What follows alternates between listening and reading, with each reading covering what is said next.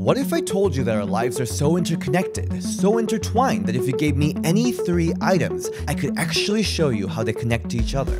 In a way, that's what journalism's all about connecting the dots. Well, what if we put that theory to the test? That pretty much everything is connected to each other in some way. My name is Dia Shin, and this is Connect the Dots.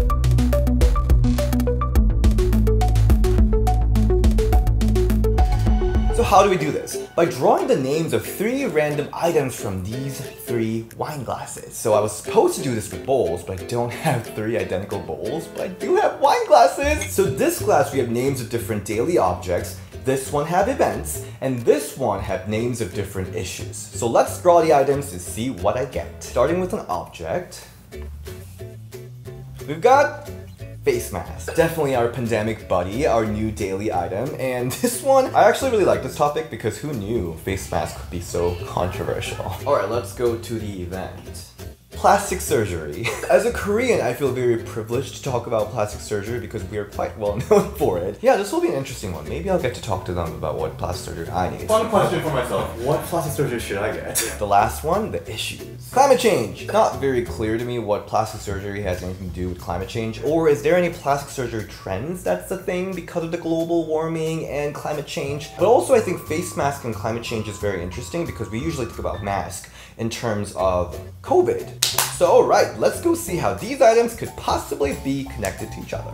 So I want to first tackle the easiest link, which I think is face mask and climate change, because for the last couple of years, most Americans and big chunk of the world had to use face masks. And if you go on the street, you see this littered everywhere. And we were told to wear gloves and masks during this pandemic, but now they're becoming litter. Noticing an alarming number of masks littering Chicago parks on the lakefront. When it comes to climate change, I knew exactly who I should talk to. Good afternoon, everybody. I'm meteorologist Iisha Scott. NBC Chicago's coolest meteorologist, Iisha Scott, who's actually actually filming her own climate change series at the moment. I hope he doesn't think I know like everything. Like I'm no scientist, but like, well, weather-wise. But I'm like, oh right. oh my god, I don't know about the plastic surgery industry. like, climate change. Yeah. And you're doing a climate change series. It's gonna be perfect. No, this is perfect. Yeah. I'm a meteorologist, and I like to say weather is the great equalizer because weather impacts everybody. Now, I see sometimes masks in the street and I'm like, no, why do they just throw the mask like in the street? Yeah. But if we can find a way to make these things recyclable mm-hmm. so that we can be more friendly to our earth because right. this is the only one that we have. I have so many questions about face masks and climate change, and to answer all the questions, I reached out to these three experts. First question is, how much waste are face masks causing? Worldwide, um, a consumption of face masks of approximately 129 billion each month. In 2020 alone, it's estimated that 1.6 billion disposable masks ended up in our ocean. Are we doing anything about it? Can face masks be recycled? At TerraCycle, we've been recycling face masks for uh, close to two decades now. We shred them, and then we're able to separate it into the basic material types, and that turns into flooring applications, different rigid plastic products, and then you have the metal, which is sort of the thing that folds over your nose, smelted into new metal products. And researchers at MIT are developing reusable rubber face masks for healthcare workers and more. I have an early version here and the original prototype, so it's not these are not what they look like today. If you were using the one respirator per patient encounter on average, which is sort of the standard of care pre-pandemic, approximately like 80 plus million kilograms were generated. It's the equivalent of around 250 747s being generated in waste every six months. If you have like an actual reusable respirator, you can then drop that to below five airplanes per six months. But how much of a dent in face mask waste is that making? It's not something that is really happening at a significant level. From a policy standpoint, I think it's important to have incentives to encourage more companies to replicate behaviors that we've seen, for example, with TerraCycle, so that it's not just shifted to the consumer for responsibility. But let's flip the tables here. Increased face mask waste is affecting climate change, but can climate change affect face mask use? And the reason I bring this up is growing up in Korea, wearing a mask was pretty common way before the pandemic. And the timing worked out rather perfectly because I was heading to Korea to attend my brother's wedding, and funny enough, my brother happens to be the climate change specialist in the Department of Environment in South Korea. Just arrived in Korea. 18 hours after I can finally take off my mask. 근데 되게 공기가 좋네? 황사도 없고?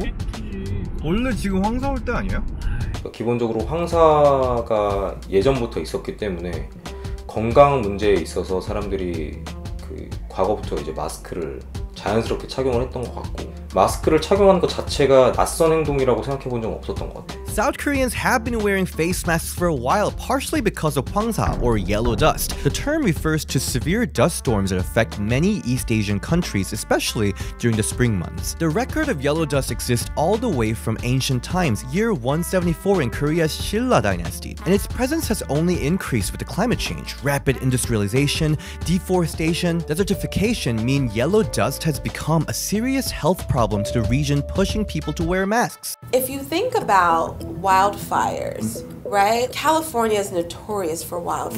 Right. And just like South Koreans have been wearing face masks to protect themselves from the effects of climate change, Americans may soon have to do that too. Well, according to my friend Anthony who lives in San Francisco, some Californians already have been doing that. One day, there was so much smog and pollution that actually the sun couldn't come out. I was on the bus going to work and everybody on the bus was wearing a face mask just because the pollution was so bad. And this was before COVID time, so before anyone was wearing masks for viruses or being safe in that sense, in the medical sense. But that wildfire smoke, you know, it also travels from west to east. And this was actually last year. I was in working in the southeast at that point, but we saw heavy wildfire smoke. Oh. All the way from California on the east coast. And because our weather moves from west to east, we have the jet stream moving everything along. We're going to see these periods where we have you know, wildfire smoke or high ozone, and that all will lead to what am I trying to say?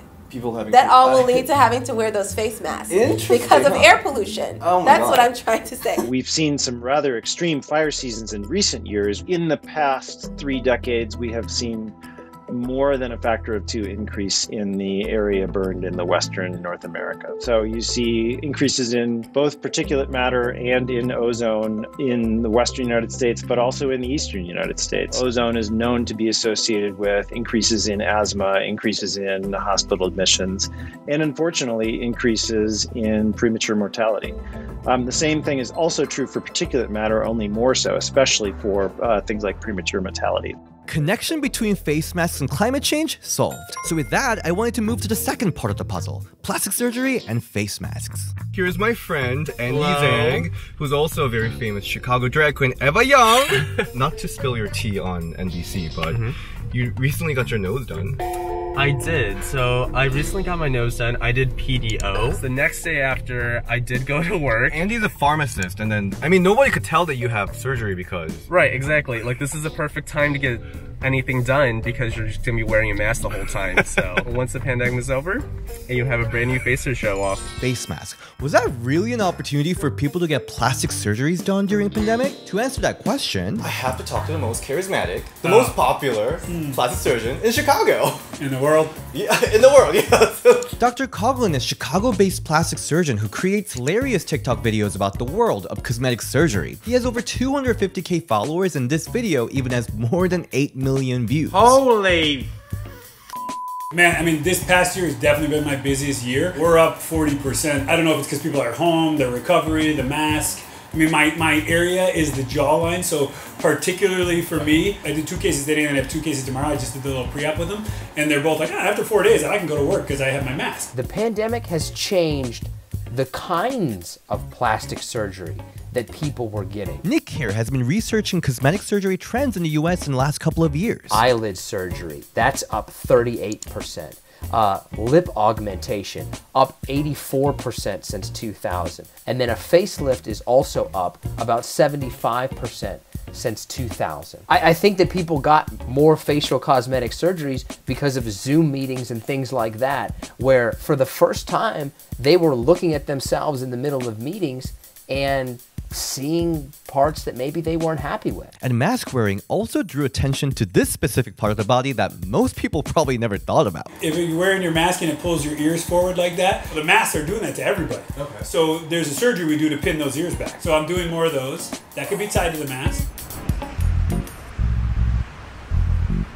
So I'm currently in Seoul, Gangnam, which is like the mecca of plastic surgery in the world. While I was in Korea, I thought it would be a great opportunity for me to talk to plastic surgeons here, as South Korea is often known as the plastic surgery capital of the world, ranking first on a per capita basis with more than 20 cosmetic procedures performed per thousand individuals. So I visited ID Hospital, which is one of the biggest plastic surgery hospitals in Korea. In fact, awarded as the hospital that performed the most procedures from 2017 to 2021. Uh, when we uh, cover the like low face with masks, then, then we can only see the like eyes. Right. People are more concerned about the eye shapes, so there are more and more eye surgeries. And then to the contrary, there are some like more uh, nose surgeries in Korea actually, because they can hide, they cover up their like those scars or nose uh, like surgery. Uh, so that's one thing. So eye surgery and nose surgery is kind of surge in Korea. Connection between plastic surgery and face masks. Done. Now moving on to the most difficult part of the puzzle, plastic surgery and climate change. I don't even know. like I don't even know how to Yeah. Connect the two. I guess the best I can do is Google. And by Googling plastic surgery and climate change, I was able to find a paper written on the topic Four Ways Plastic Surgeons Can Fight Climate Change. And I emailed the author. Dr. Meals just replied back to me and it says Hi DS, if this is legit, I would love to talk to you. All the material involved gets carried out in plastic trash bags, and at the end of an eight hour case, there might be 10 full size plastic trash bags worth of material that goes directly into a landfill. The sort of non glamorous stuff that you don't see on TV, but when you do see it, I, I think is uh, concerning. In this paper, Dr. Meals came up with various pro climate practices that can be adapted by plastic surgeons. But the real question is does he think surgeons are doing this? Will this ever be trendy among the surgeons? Um, I don't think it's trendy yet.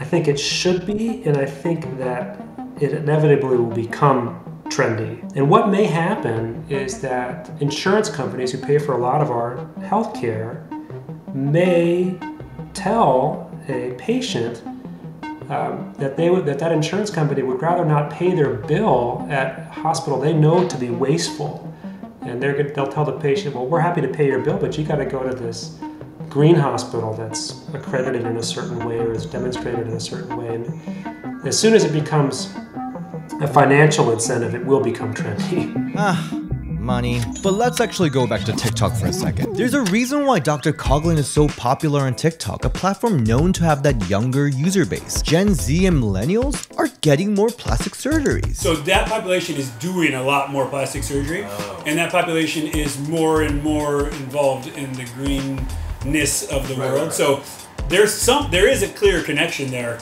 because these people are they're open to changing their looks and they care about the environment. So I do a lot of fat transfer. So you can do filler, off the shelf chemical compounds we put in somebody's face, made in a, a factory. You know, uses energy to make this, uh, put in plastic versus fat. We can take your own fat from your belly and put it in your face. It doesn't get much greener than using your own fat. And fat's hot right now.